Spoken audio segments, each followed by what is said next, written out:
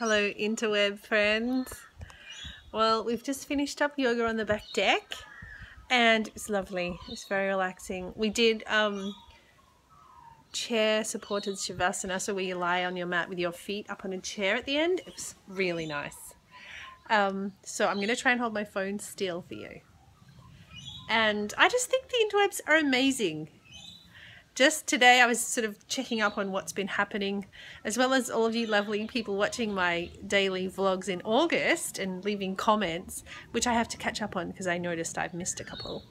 Um, I got a random email out of the blue from my friend Thais from Bolivia uh, who I met in Qingdao a couple of years ago and it was a lovely sweet message and I also got a really cool thing on Facebook Messenger from I think um, I, I'm not exactly sure the um, how we, we know each other. I think I know, but I need to confirm.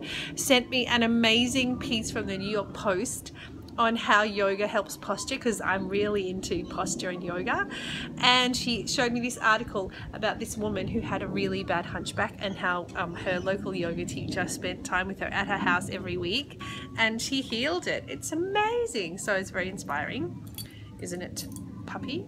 And um, so um, I definitely feel like this interweb stuff is amazing. And even if sometimes I don't see the point of daily uploads, then all this connection that I get through the Instagram, the Facebook, the YouTube, the website, it's pretty cool. So hello all of my lovely internet friends even though we don't get to meet in person, we get to meet here.